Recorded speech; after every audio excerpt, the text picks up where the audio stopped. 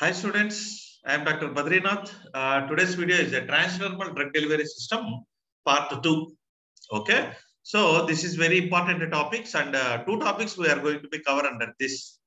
Basic components of transdermal drug delivery system, five points. There are uh, total five basic concepts are there, components. That components are very important. You have to write in the examinations as it is and also formulation approaches. There is a totally five formulation approaches. So totally five plus five, 10, 10 points you have to keep in your mind. This is also 10 slides, not more than that. Okay, right. So we are using a very important uh, adhesive layer. That is a super glue layer in the preparation of the transdermal patches. In my part one video, I have already told that these are the not transdermal patches. Here what I am showing these are the handy plast. This is for the local action. I have already told you clear cut difference between the patches and as well as this handy plasts. Okay, right. So this is your syllabus as per the Pharmacy Council of India. Uh, the highlighted points you can see here, basic components of transdermal patches, five points. Formulation approaches, five points. Totally 10 points we are going to be learn in this video. This is mobile, my mobile app. You can be downloaded from the Google Play Store mobile app. My all presentations are nothing but notes. So my all presentations, my notes is available in the my mobile app. After downloading it, you go to the store option here. See here, this is here you can be find the store option at the bottom. There I, I am providing a notes in the, the different headings like B Form C, M Form C, M Form all branches like that and this is about my youtube channel. You can go to the playlist so that you will get all my videos in the subject wise you will get. If you click on each subject you will get a topic wise. Yeah. First one basic components of the transdermal drug delivery system. See whenever you are preparing whenever you if you want to become an expert in the trans in the preparation of transdermal patches five basic components are essential. That point you have to keep in your mind five basic components. Without these five basic components, you cannot prepare the transdermal patches. Okay, right. What are that? I will show you. First one is the clear backing membrane. See here, this is clear back. This is a transdermal patch. Here you can see the back membrane. This is a diagram. In the here it looks like that. Uh, if you go to a medical shop and ask for a transdermal patch, see the back side. Open the pouch and see the back side. It looks like this and this is a front side. Patch front side. Here you can be find the drug. This is a drug reservoir that and all i will explain you later. See first of all keep in your mind this is a backing membrane is very very important. Clear backing. What is the main function of this backing backing membrane is just like a backbone. Keep in your mind. It is a very flexible okay? Very flexible. However you want you can be uh, mold it or you can be change the shape of it it is a very flexible, not rigid, not just like a iron plate. It is not like iron plate. It is a just rigid. It is a flexible like a paper. It is a flexible and gives a full mechanical support to the drug reservoir. Here you can find the drug reservoir. That is a second basic component that I will explain you in the next slide. First slide, only the backing membrane. Very, very important. All the important points you have to write in the examination. It prevents the drug living from the living the dosage from uh, during the usage. See, whenever you are adhering the patch, okay, the drug will leach from the backside. In order to avoid that, this backing membrane is compulsory. So backing membrane is come. It prevents the drug and also it protects the drug from the atmosphere oxidation, hydrolysis, etc. and all. Because so that's why this backing membrane is impermeable to atmospheric oxygen atmospheric hydrolysis, that is atmospheric moisture. So that these two will not enter into the drug reservoir from the atmosphere. Okay. And it must allow the printing. It must, this polymer, what you are using, this backing membrane, it must allow the printing. See here, you can be find the print. See, Norspan 5 mg, 5 micrograms per hour. It releases the 5 micrograms per hour. This is a release rate also they have mentioned. This is the amount of the drug which is present in the patch, 5 mg. This is 5 micrograms per, per hour. That is a releasing rate, nor span, like that, printable. So that easily can be find if see if patient is having a 3 to 4 patches, which patch which is like that, you can easily identify. That's why the manufacturer they will print on the back side of the patch, on the backing membrane of the patch. So it should not be interact with the any drug. So if, if it is if it started interacting with the drug, drug will be deteriorated. That's why uh, the backing membrane as well as the drug reservoir must not drug should not be reactable. Okay, examples metallic plastic laminate, plastic with absorbent pad, plastic with the adhesive foam pad. All these examples you have to write in the examination. Second one is a drug reservoir. Second component. This is also very, very important. This is a main thing is a drug. See here, this yellow mark is called as a drug reservoir, just like a reservoir. Why here you can see the drug.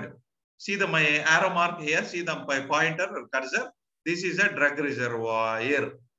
Okay, how you how you can be so? It is a mandatory for therapeutic use, and a molecular weight uh, 400 is an ideal. However, you can be used up to the 500 molecular weight also can be allowable. A large molecular weight drugs will not be permeated by the skin. That is a main problem. That's why big molecules you cannot make a patches.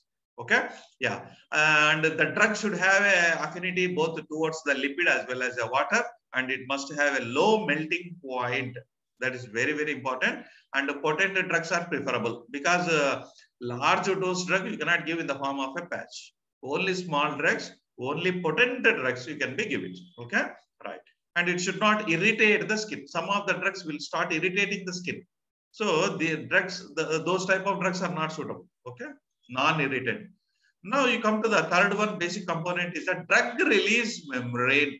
See here, see the pointer here i have told you this is a drug reservoir drug release membrane is nothing but a gate here see this is a big gates are there they will open the gate so that they will control the flow of the water see this is a gate this is the third basic component gate drug release membrane it acts as a rate here you can see bridge here clear cutly can be see there is a gates are there like this this releases a drug. This releases a drug. Okay. Number, how many gates you want, you can be designed uh, as if you want two gates, three gates, five gates, 10 gates, 20 gates also you can be uh, manufactured as per your knowledge, as per your uh, knowledge.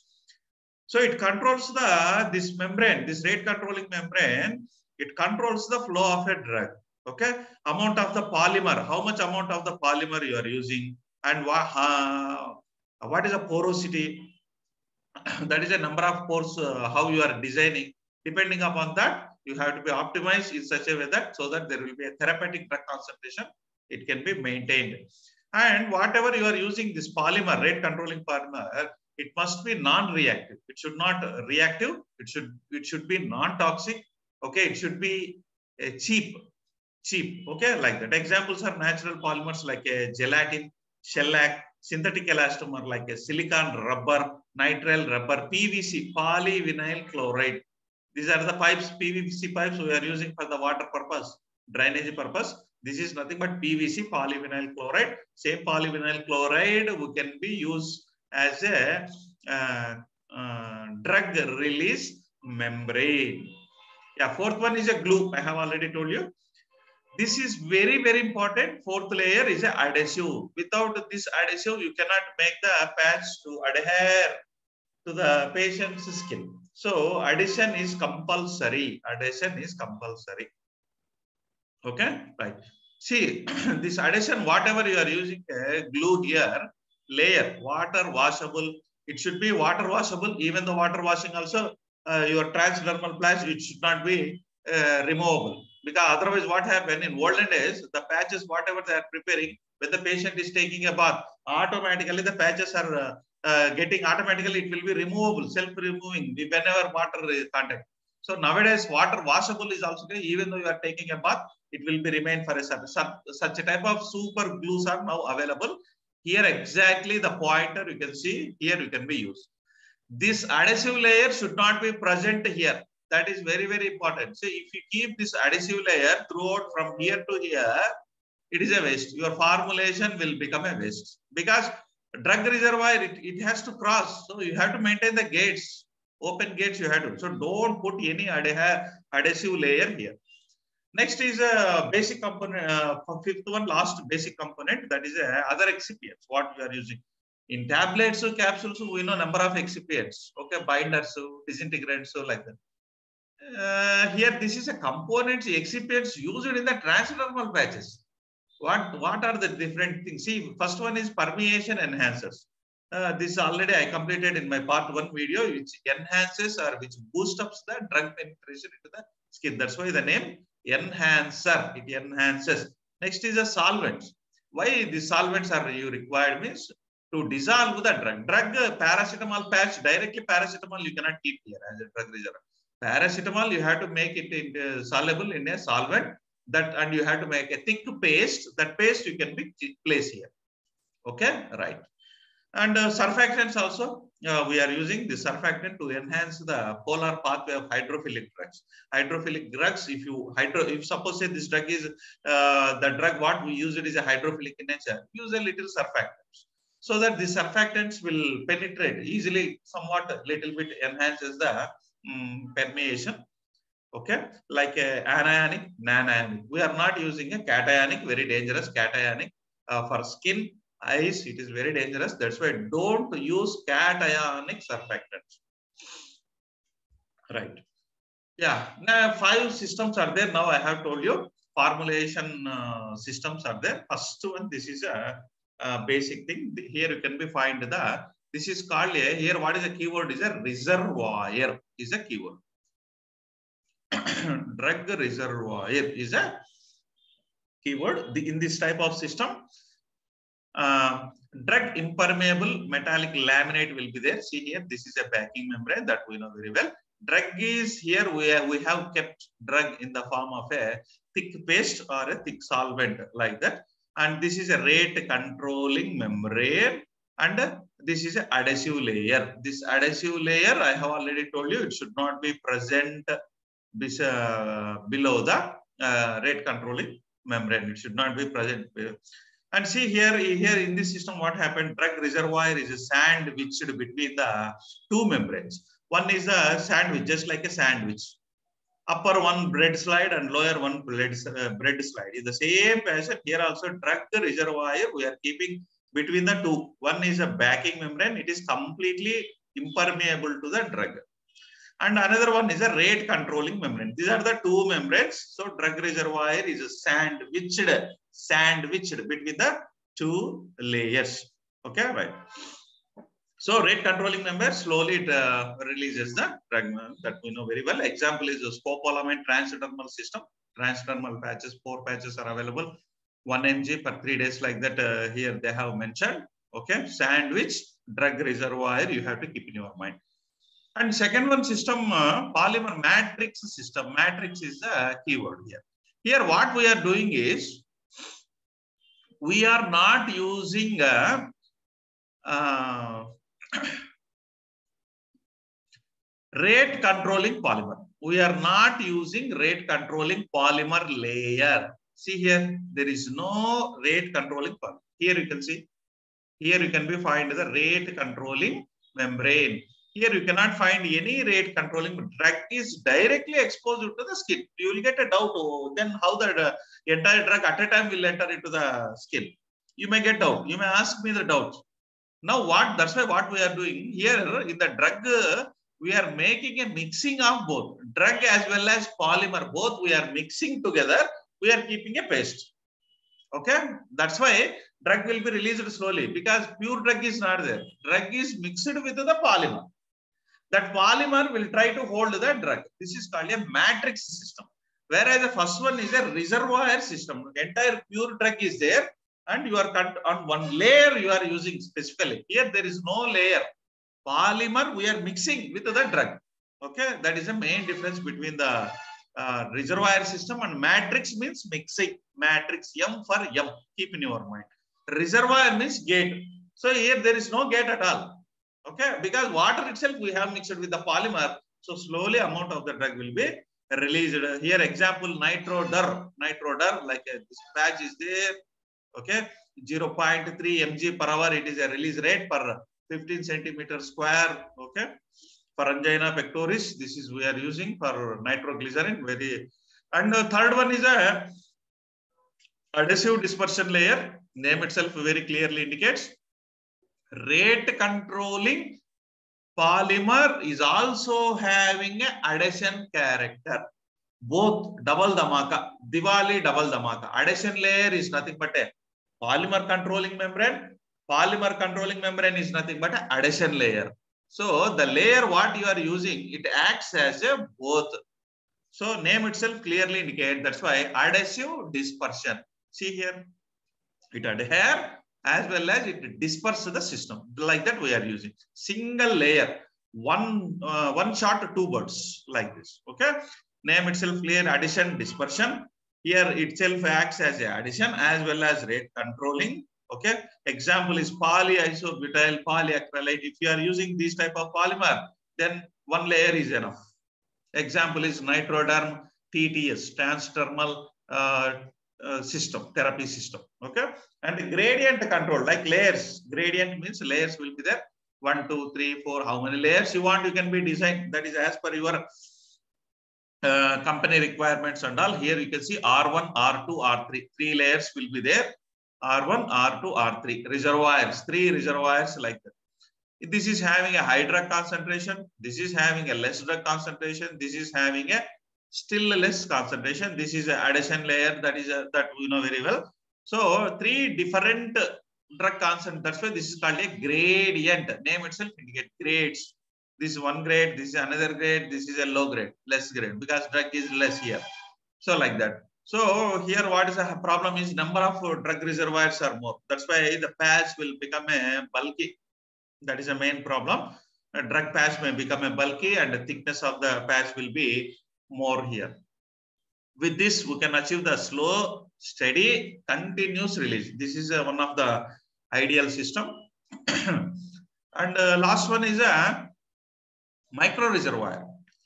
Micro reservoir, see here reservoir we know. Micro reservoir, small, small reservoirs are there. Each grand, see here, each round shape acts as one reservoir. See here one drug reservoir there, that is also controlled by the polymer, surrounded by the polymer. Like that number of uh, small, small, very, very small, you cannot see with the uh, naked eye directly. You have, you want the, you need the microscope. That's why this is called a micro reservoir. You need a microscope to see the reservoir. So each drug layer, each drug particle or each drug molecule is surrounded by the polymer matrix. That's why this is a hybrid system of the reservoir system as well as matrix also. So drug is there, surrounding polymer is there. Like that mixing matrix. That's why this is a matrix like a liger. Tiger plus lion. It is a hybrid system. You will get a perfectly zero order release. Whenever you want slow, steady, perfect zero order release, continuous release, go for the micro reservoir system. There is no problem of the dumping also, dose dumping. Okay, dose dumping is the biggest problem in polymer controlled, first one. Once the polymer controlling layer is, was opened, okay, that's it. Entire drug will be entered and it leads to toxicity also. Okay, right. Yeah, so 5 plus 5, total 10, 10 was completed. This is one advanced system, need not to be right in the examination, this advanced system. Small, small needles are there. This is to overcome the problem of the protein drug delivery. Proteins are very big molecular in size. It is uh, having a greater than 1000 also. It is not permeable to the skin. In such a case, what we are doing is a small, small needles we are using. Small. But you cannot feel that it is a painless needles. You cannot feel that there are small, very small patch. It looks like this. It is having a needles. Okay, like this. You can be see that if you bend it. So it is a very flexible. Uh, so that on the skin you, are spreading like this. Okay, so drug will be from the needle, all these are the needles. So from the needles, drug will be delivered. Somewhat big molecular weight uh, uh, drugs also can be delivered. So by use, this is an advanced system. Okay, so I will end my session here. You can see my both YouTube channel as well as the app. Okay.